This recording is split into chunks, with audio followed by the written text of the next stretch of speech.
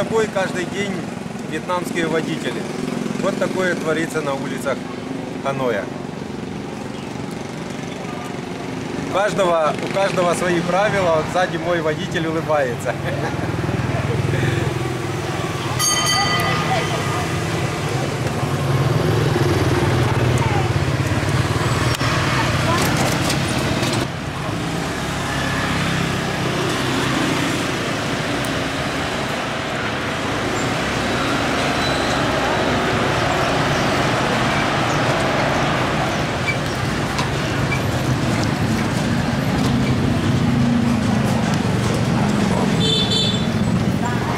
Честно говоря, очень похоже на компьютерную игру гонки на выживание.